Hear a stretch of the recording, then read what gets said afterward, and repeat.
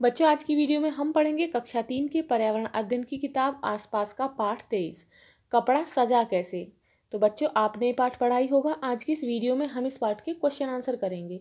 तो बच्चों, वीडियो को शुरू करने से पहले आप हमारे चैनल को सब्सक्राइब कर लें, ताकि आपको आने वाले वीडियोज़ के नोटिफिकेशन मिलते रहें। तो बच्चों, शुरू करते हैं। क्वेश्चन वन है, साजिदा का दुपट्टा कैसे बना होगा? आंसर है बच्चों, साजिदा के दुपट्टे का कपड़ा पहले कपड़ा मिल से तैयार होकर आया होगा, फिर उसे हाथों से कढ़ाई करके सजाया होगा। अगला क्वेश्चन है, तुम भी एक दुपट्टा या कोई थोड़ा लंबा बिना सिला कपड़ा लो, उसे अलग अलग तरह से पहनकर देखो, कितनी तरह से पहन पाए। आंसर है दो तरह से। अगला क्वेश्चन है, क्या किसी ने उसे लुंगी बनाकर या साफा बनाकर पहना? दुपट्टे को और कैसे कैसे पहना? आंसर है हाँ मैंने धोती की तरह पहना।